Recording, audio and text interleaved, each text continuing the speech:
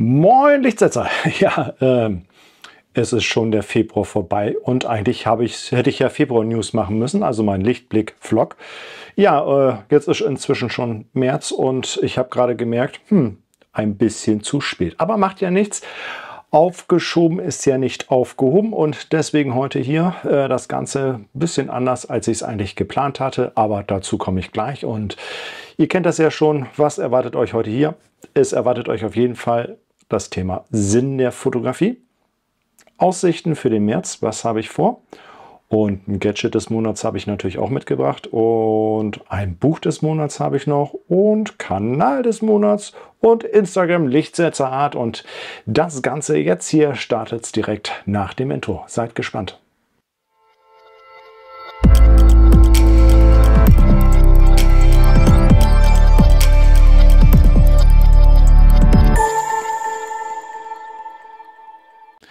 Ja, schön, dass ihr noch dabei seid. Ähm, ja, Intro muss sein, sage ich immer. Ne? Also ich habe es ja mal gebaut, also von daher.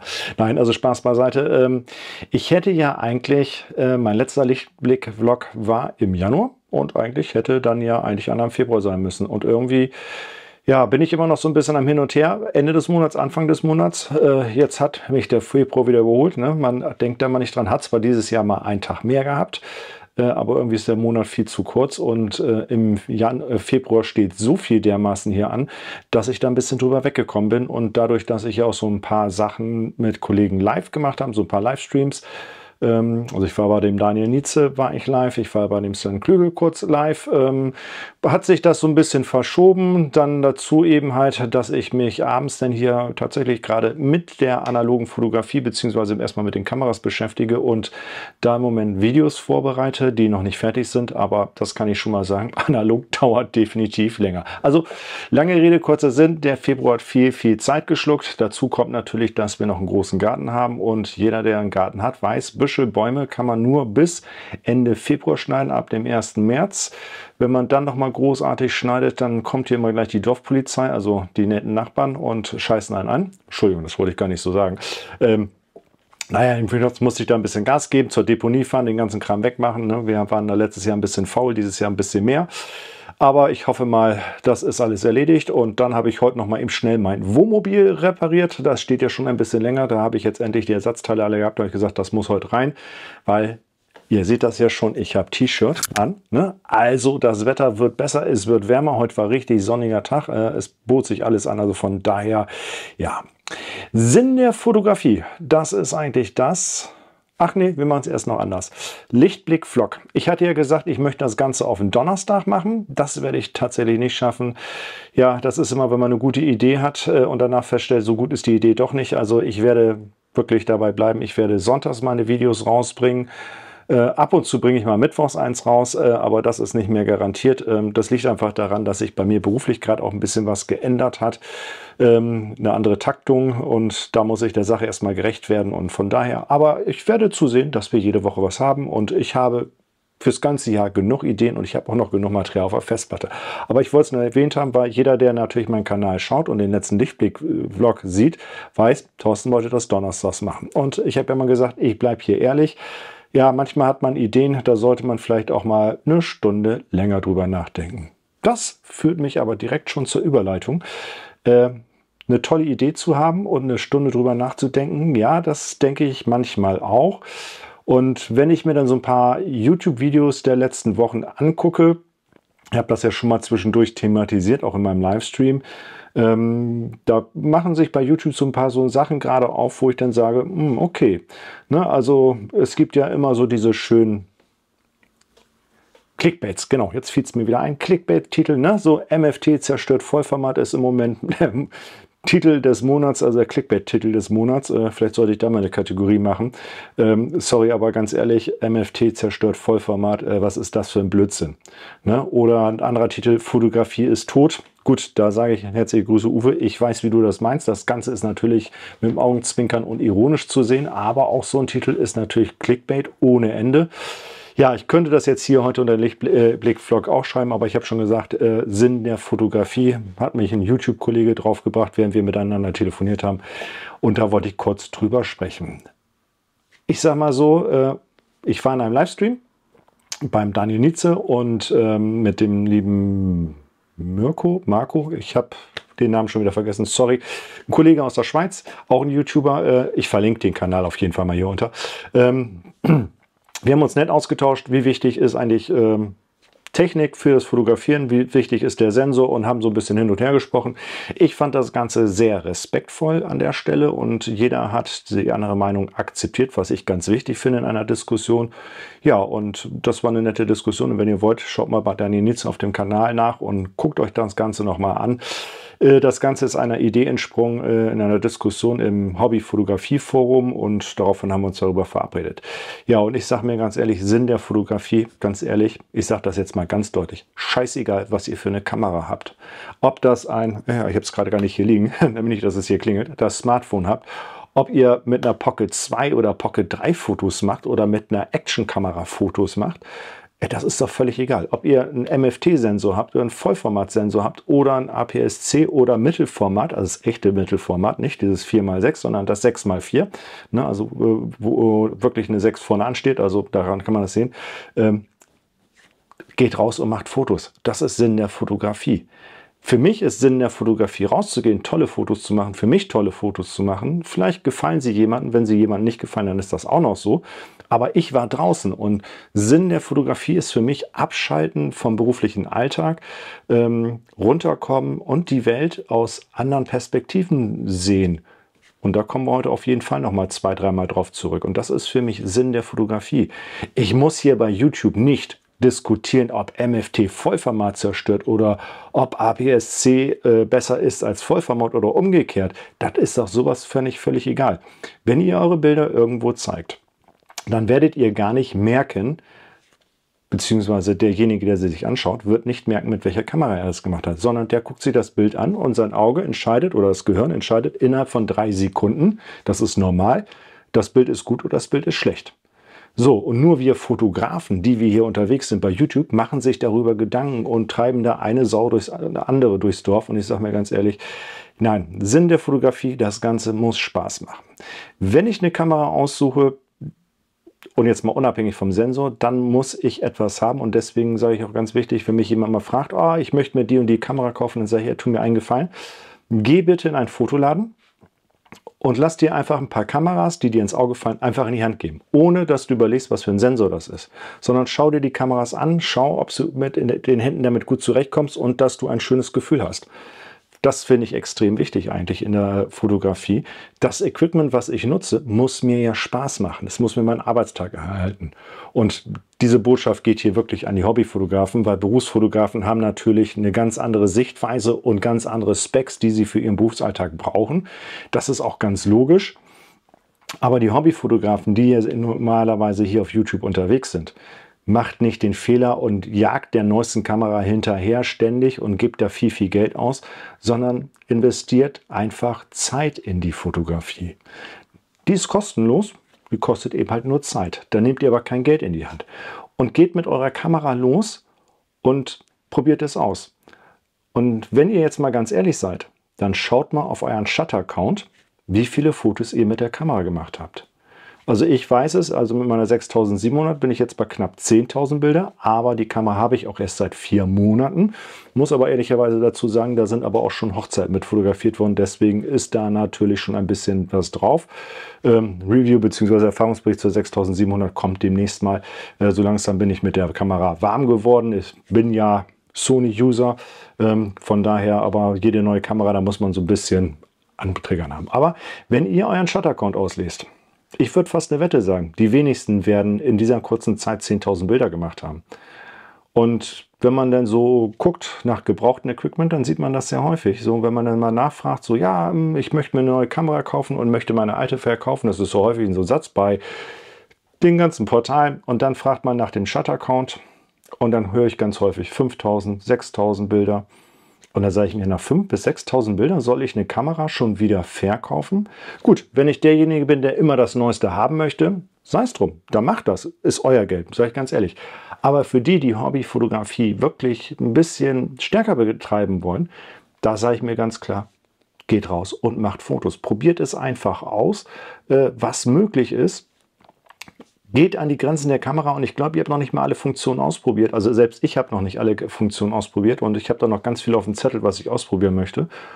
Und geht einfach mal bei und sagt, was kann die Kamera eigentlich? Habe ich überall schon mal mit fotografiert, auch wenn es nicht unbedingt meine Range ist, die ich normalerweise fotografiere.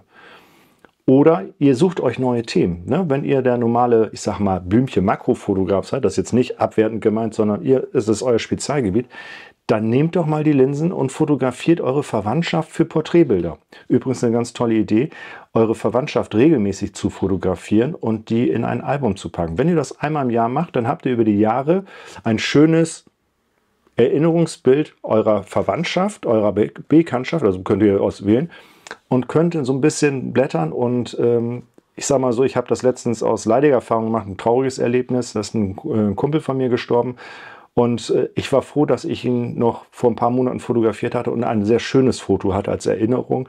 Und auch dafür sind diese Momente der Fotografie natürlich da. Aber natürlich auch die schönen Momente zu generieren dabei. Also kann ich nur empfehlen. Oder wenn ihr Landschaftsfotograf seid, dann geht bewusst in die Stadt und geht mal dabei und nehmt andere Perspektiven. Oder macht Streetfotografie in dem Moment.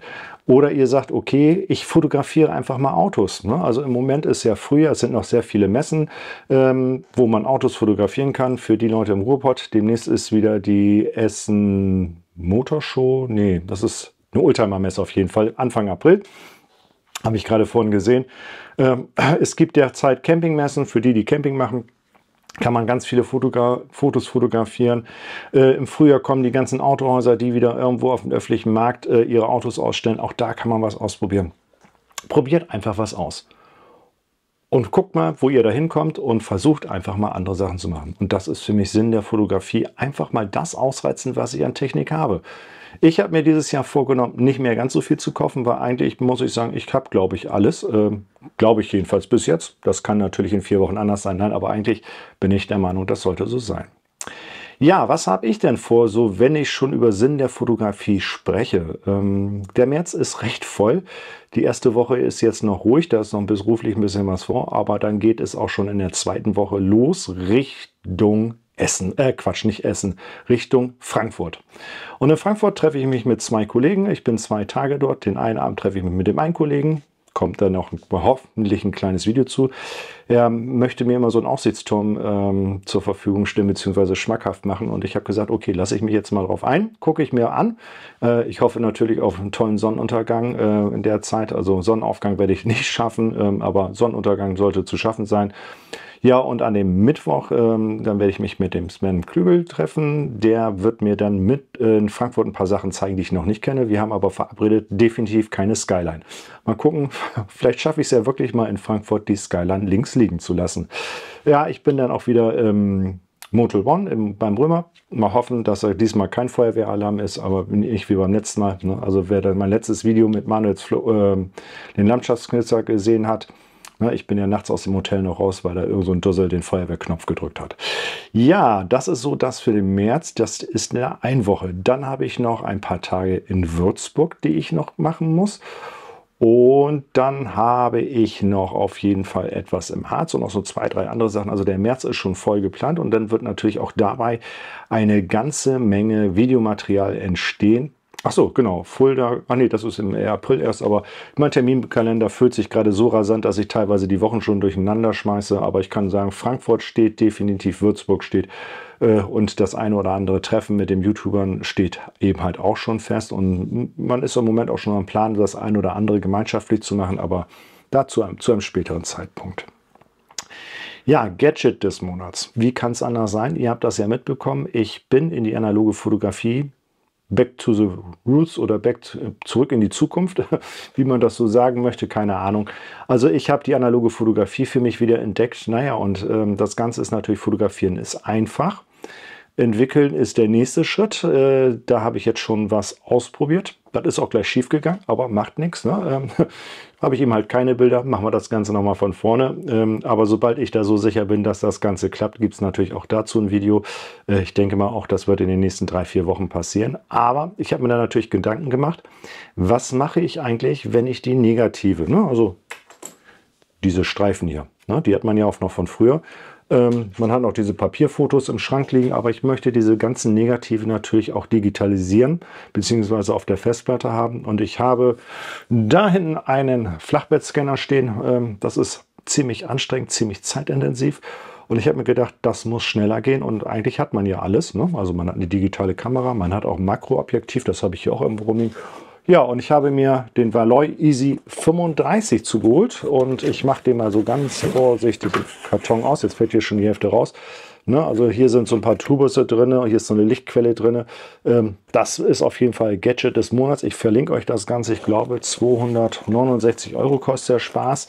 Ähm, ist eigentlich man könnte sagen, okay, ich könnte mir das Ganze auch mit einem Leuchttisch aufbauen und mit einem Stativ, aber die Möglichkeiten habe ich nicht und ich mag das, wenn es in so einem kleinen Karton ist und ich das einfach wieder verstauen kann. Ähm, und wegpacken kann und das ist alles in seinem Karton drin und ich kann einfach die Kamera mit den Tubussen da vorne rausschrauben, fokussiere und schiebe die Negative hinten runter und mache nur noch Klick, Klick, Klick. Das Ganze auf dem Stativ aufgebaut, das funktioniert rasend schnell. Also wie gesagt, da mache ich demnächst auf jeden Fall auch ein Video zu. Ähm, da das würde das Video hier jetzt sprengen und das würde der Sache auch nicht gerecht werden. Ja, Buch des Monats würde ich mal sagen, machen wir zum Sinn der Fotografie und dazu wechsle ich einmal auf den Computer und nehme euch dort mit. Ich muss mal eben ganz kurz hier was starten und den Rahmen hier richtig hinziehen, damit ihr das Ganze auch mitbekommt, damit das auch vernünftig ist. So, und ja, jetzt muss ich noch die Bildschirmaufnahme starten. So, das, was ihr jetzt hier seht, ähm, ist im Prinzip achtsam fotografieren. Dieses Buch lese ich derzeit. Ich kann euch das jetzt hier nicht in der Kamera so zeigen, weil ich dieses äh, Buch nicht als Printausgabe habe. Ich habe mir das einfach nur digital gekauft, weil ich natürlich, wenn ich viel unterwegs bin und immer Bücher mitschleppen, die haben ein gewisses Gewicht. Aber der Sven Bano schreibt hier wirklich über den Sinn der Fotografie, achtsam fotografieren. Und wenn man so ein bisschen hier runter geht, ne, es geht um die Achtsamkeit, die Essenz der Fotografie, Entschleunigung als Teil der fotografischen Prozesses. Ja, ähm, gut, das mit dem Achtsamkeitsforscher, das kommt da gar nicht so heftig vor. Ähm, aber die Inhalte, die er da eben halt beschreibt und gerade achtsame Porträt, Straße- oder Reisefotografie und auch das Glücksprojekt, ich habe das Buch noch nicht komplett durch, aber das ist ein Buch, was mich im Moment sehr, sehr stark fesselt und ich kann euch das nur empfehlen. Ähm, man kann sich hier im D-Punkt Verlag hier auch eine Leseprobe runterladen und äh, kann man sich gerne mal angucken. Also ich kann euch das hier wirklich ähm, empfehlen und das macht so wirklich wieder Sinn der Fotografie. Ja, das auf jeden Fall Buch des Monats kann ich euch sehr, sehr stark empfehlen. Und ja, dann kommen wir eigentlich auch schon zum Kanal des Monats. Und bevor wir zu dem Kanal des Monats kommen, ich muss hier schon mal ein bisschen was wechseln. Ähm, zu diesem Kanal des Monats möchte ich vorher etwas sagen. Und ich glaube, die Person wird jetzt ein bisschen überrascht sein. Aber diese Person hat eigentlich auch den Sinn der Fotografie aus meiner Sicht verstanden. Und zwar ist es ein sehr, sehr lieber Kollege, den ich hier auch über YouTube kennengelernt habe und den ich sehr schätze. Und er macht etwas, er hat ein super geniales Auge für Motive und gerade für Details. Und er hat kurz nach mir damals gestartet mit einem kleinen YouTube-Kanal und der ist auch noch nicht großartig gewachsen und deswegen nehme ich euch jetzt wieder mit rüber an den Rechner und zeige euch das. Und zwar, das ist der liebe Olaf. Der Kanal heißt ArtOS und äh, ihr seht 71 Abonnenten und ich sage ganz ehrlich, da können noch ein paar Abonnenten mehr dabei sein. Und ähm, im ersten Moment denkt man so, oh, ich bin hier vielleicht auf einem analogen Kanal gelandet, wenn man jetzt diese Bilder sieht, ne? weil hier 5 aus 36 abgehoben ne? Ähm, und so welche Sachen. Also ich nicht wundern über meine roten Balken. Ich gucke die Sachen manchmal ein bisschen mehr. Hier gibt es ein Spezial und ähm, ja, der Olaf macht eben halt sehr, sehr tolle Bilder und er hat sich zur Aufgabe gemacht, dass er Sachen eben halt fotografieren geht ähm, und sagt, okay, ich mache maximal 36 Bilder. Und aus diesen 36 Bildern, die zeigt ihr euch alle im Schnelldurchlauf, zeigt euch die fünf besten. Und gerade wenn man so ein bisschen über Sinn der Fotografie philosophieren möchte oder eben halt über Motive, über das äh, Auge, dann kann ich euch diesen Kanal nur empfehlen. Und äh, ich habe mich mal von Olaf herausfordern lassen. Das ist, wenn man den Mund nicht halten kann. Äh, ich habe das auch mal gemacht, 5 aus 36. Das ist nicht ganz so einfach, und, äh, aber ich kann euch das sehr empfehlen und muss auch sagen, ganz tolle Geschichten, die hier mit bei sind. Ne, also ich muss jetzt mal gerade gucken, ich gehe mal hier in die Videos. Ähm, mal schauen, und zwar, wo war es denn, was ich total feier, wenn man das denn suchen muss. Ähm, Ja, das ist immer, wenn man was suchen muss. Und da ist das, da, da, da, da. Ach, hätte ich mal vorgeguckt. Also jedenfalls hat Olaf ein, ich nehme, komm mal wieder zurück, Olaf hat dann einen ähm, Einkaufswagen fotografiert. Ihr kennt ja diese Unterstände im Supermarkt mit diesen Einkaufswagen. Und so detailreich, und ich feiere das total, weil ganz ehrlich, da laufen wir jeden Tag oder mindestens einmal die Woche dran vorbei und Handtuch. Wer wäre auf die Idee gekommen, Einkaufswagen beim Supermarkt zu fotografieren. Ich nicht, muss ich ganz ehrlich sagen. Aber Sinn der Fotografie, er hat Motive gefunden, auch sehr detailreich. Äh, Chapeau und guckt euch das Ganze mal an. Das ist definitiv Kanal des Monats für den Monat März oder für den Sinn der Fotografie. Ja, dann habe ich noch eine Sache, da nehme ich euch gleich wieder mit zurück zum Rechner. Ich bereite das schon mal vor. Und zwar ist es ja auch so, hier geht es auch wieder um die Fotografie. Ja, ihr kennt es ja, Lichtsetzer Art. Ähm, das ist mein Hashtag bei Instagram.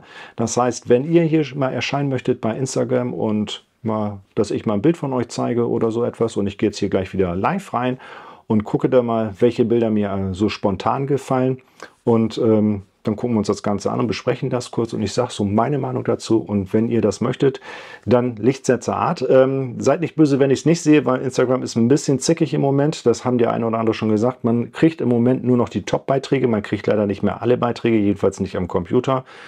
Äh, am Handy, an den Apps funktioniert es komischerweise anders und teilweise muss ich ein bisschen suchen, aber ich gucke regelmäßig da rein und ähm, der eine oder andere hat schon mal gemerkt, dann gibt es denn auch mal eine Schwadrone nie an Herzchen von meiner Seite, wenn mir die Bilder gut gefallen. Also normalerweise versuche ich jedes Foto mir auch anzugucken. Wenn ich mal eins übersehe, nicht böse sein, das ist nicht böse von mir gemeint, das ist böse von Instagram gemeint. So, wir gehen rüber. Ja, Lichtsetzer Art, hier ist der Hashtag und ihr seht das schon. Ne, das Bild war letzten Monat auch schon da, das kenne ich schon. Hamburg, Tor der Welt, ich finde es immer noch klasse. Aber ich muss auch ganz ehrlich sagen, das erste links oben, das entspricht gerade meiner Laune heute, weil das Wetter ist klasse. Ne? Es ist, die Sonne ist draußen, es ist wieder Fotografiewetter, das Wetter wird besser und dieses Bild sagt das sofort. Ihr seht schon 137 Likes, 18 Kommentare, das muss ich ganz ehrlich sagen, finde ich schon ganz klasse, weil 18 Kommentare bei Instagram ist selten. Und wir scha schauen mal. Und zwar ist das der Matthias Jung Fotografie. Mal gucken, was er geschrieben hat. Zufrieden. Sinn der Fotografie. Er ist auf jeden Fall zufrieden, das ist schon mal ganz klar. Entspannung pur. Draußen Entschleunigung, äh, Abschalten, Erlebnisse, herrlich, Farbenspiel, Sonnenschein. Äh, Matthias, wir kennen uns nicht persönlich, aber du sagst gerade alles das, was ich heute gedacht habe, als ich draußen durch die Gegend gelaufen bin. Leider konnte ich nicht fotografieren, aber dein Bild holt mich hier ab. Ja, und muss ganz ehrlich sagen, gefällt mir super, super gut. Ne? Also auch die Lichtstimmung hier so ein bisschen leicht diesig hier. Na, hier schön vorne die Heide. Ich gehe mal von aus, das Bild ist ein bisschen älter. Ja, es ist schon sieben Wochen alt auf jeden Fall. Ist in der Mellinger Heide. Das wird natürlich nicht dieses Jahr gewesen sein. Ich denke mal, Heideblüte ist ja in der Regel so um August rum. Das wird also aus dem letzten Jahr August sein. Aber Matthias, vielen Dank, dass du uns das Foto jetzt erst zeigst, weil das holt uns jetzt schon mal in den Frühling rein und auch so mit den Sonnenstrahlen. Also ich liebe das ja, wenn jetzt hier so ein Bouquet ist, beziehungsweise hier so Sonnenstrahlen richtig weggehen, also wenn die Blende schön offen ist, also ich gehe mal von aus, Blende wird da sehr geschlossen sein, nicht offen, ähm, so dass man halt eben diese Sonnensterne hat. Ne, auch hier, die Bäume sind für mich gar nicht zu dominant, sie sind da, das ist so, ne, also hier vorne, also ich fange mal von vorne an, ne, hier vorne die Heide, dann ist hier schön scharf, es geht so ein bisschen in das Unscharfe hinein, das heißt also ein bisschen durch die Ebene, hm, ich, keine Ahnung, was das ist, Weidezaun, Wandertafel, irgend sowas in der Richtung. Ne? Und dann eben halt diese Bäume und eben halt dieses schöne Hinterlicht von der Sonne und auch von der, vom Farbspektrum. Boah, schwieriges Wort. Ähm, und dann hier schön hoch in den blauen Himmel. Also richtig klasse Bild, gefällt mir gut. Matthias, äh, ich hoffe, da kommen jetzt noch ein paar Likes zu. Die hast du dir definitiv verdient. Ähm, eins meiner Lieblingsbilder wäre auch etwas, was ich mir so ausdrucken würde und an die Wand drucken würde. Und da komme ich gleich nochmal ganz kurz zu. So, was sehe ich hier? Da sind Streetfotos bei. Also ich habe das gestern schon mal gesehen, als ich so durchgescrollt habe. Ne, so abends gucke ich ja einmal kurz durch. Oh, das wäre jetzt auch so ein typisches, tolles Frühlingsbild ne? oder ah, Road to Nowhere. Also ich wollte ja eigentlich nur zwei Bilder zeigen, aber da ich das jetzt hier gerade sehe, wir gucken da mal rein. Oh, der Gerd Zollens. Ähm, ja, auch das, klasse mit der Sonne. Gut, ich persönlich hätte jetzt wieder die Streime, aber das ist, das ist ein Spleen von mir. Äh, auch das finde ich eigentlich ganz toll, weil das hier hinten so super diesig nebelig ist und durch diesen Nebel eben halt auch der Nebel hier oben in den äh, Bäumen richtig drin hängt. Und das ist wirklich so die Straße zur Sonne, die Straße ins Nirgendwo. Ich weiß es nicht. Also auch das gefällt mir richtig klasse und gibt natürlich den heutigen Tag extrem wieder. Ich hoffe, die nächsten Tage bleiben so. Ähm, ja, so, wir haben aber Streetfotos und wenn man so viele Streetfotos dabei hat, dann möchte man noch ein bisschen weiter gucken. Und ja, also wenn ihr diesen Hashtag nutzt, na, ihr seht auch ein paar andere Bilder, ne? schöne Porträtbilder, das ist das Schöne. Alle, ich liebe jede Art von Fotografie. Ihr könnt mir hier auch Vögel reinpacken. Ich bin zwar kein Wildlife-Fotograf, aber ich schaue mir sowas gerne an. Oh, das ist ein ganz starkes Bild. So, Schmidis Vlogs. Ja, kann ich auch empfehlen, ein YouTube-Kollege krasses, geiles Bild. Äh, da muss man einen Moment eben drauf gucken, weil das ist wirklich so eine richtig typische Straßenszene. Ähm, People of Color sitzt auf dem Stuhl. Ich finde das total geil. Äh, ich kann das jetzt leider nicht, ich weiß nicht, ob es größer kriegen würde, wahrscheinlich nicht. Ich will es jetzt hier auch nicht versauen. Handschuhe, Gibt er ihm Geld? Gibt er ihm eine Uhr? Irgendetwas? Also man würde jetzt raten, was gibt er ihm? Auf jeden Fall ein Grinsen bei dem Mann im Gesicht. Ähm, auch cool hier mit der Brille, so ein bisschen auf Höhe der Augenbrauen. Ähm, Lichtstimmung total klasse gefunden. Also wirklich auch so, ja, also das ist, ich schätze mal auch, hier oben sind noch Tanzzweige. Das heißt, das wird wohl irgendwo Dezember, Januar gewesen sein. Hier ist noch nichts bepflanzt worden. Ich denke mal, die Stühle sind gerade rausgestellt worden. Wahrscheinlich würde hier unten noch irgendwo eine Kette sein klasse Bild. Also der eine Mann ruht sich aus und der andere bekommt was von ihm, ob das jetzt zufällig ist oder nicht. Also das ist so ein Bild, da kann man viel Fantasie laufen lassen. Also Schmidis, Vlogs, Respekt, super geiles Bild. Ähm, ich hoffe, ich habe morgen ein bisschen Zeit. Ich glaube, ich gehe Streetfotografies machen. Ja, ob ich dann sowas hinkriege, ich weiß es nicht. Kann ich nicht sagen. Aber da muss ich sagen, äh, auch das ein ganz klasses Foto. Ne? Also von daher. Ja, ich sehe schon, äh, ich bin fast bei einer halben Stunde. Ich denke mal, ich habe auch wieder genug gesabbelt. Ähm, ich freue mich, dass ihr hier bei mir seid, ähm, dass ihr meinen Kanal abonniert habt, dass ihr ein Gefällt mir macht und auch einen Kommentar schreibt und eine Bitte hätte ich tatsächlich an dieser Stelle, wenn ihr Kommentare schreibt, äh, positiv wie negativ. Also ihr dürft mir gerne auch Feedback geben und ich kriege auch ab und zu mal die eine oder andere E-Mail. Bitte ich um eine ganz, ganz wichtige Sache und ähm, das aus einem ganz bewussten Grund. Ich bitte um Respekt. Also ich versuche euch respektvoll gegenüberzugehen. Ich weiß zwar manchmal auch nicht alles. Ähm, manchmal sage ich vielleicht auch was falsch, dann wird mir das auch gesagt. Das finde ich auch gut, aber bitte respektvoll. Äh, ich habe auf Deutsch gesagt so ein ja, so jemand, der hat so, glaube ich, drei Gehirnschrauben nur gehabt. Ich muss das mal ganz vorsichtig sagen. Ähm, der hat unter einem Kommentar äh, was geschrieben. Im ersten Moment habe ich gedacht, okay, er ist ein bisschen heftig geschrieben, habe dann auch nett darauf geantwortet und habe gesagt, okay, ja. Äh, und die nächsten Kommentare waren dann sehr, sehr unverschämt und auch beleidigend. Und dann habe ich ihn natürlich auch gesperrt auf diesem Kanal. Ne? Also mit sowas verschwende ich nicht meine Zeit. Äh, wenn es respektvoll ist, auch wenn es kritisch ist, kein Problem. Ich nehme alles an, ich nehme die Menschen so, wie sie sind, aber beleidigen lassen muss ich mich hier nicht. In dem Sinne sage ich jetzt, geht raus, macht Fotos. Ne? Ihr wisst ja, Sinn der Fotografie, wir wollen ja was Schönes erleben. Ich wünsche euch einen schönen Tag, einen schönen Abend, ein schönes Wochenende, je nachdem, wann ihr das Video seht. Ich bin wieder raus. Bis zum nächsten Mal. Euer Thorsten.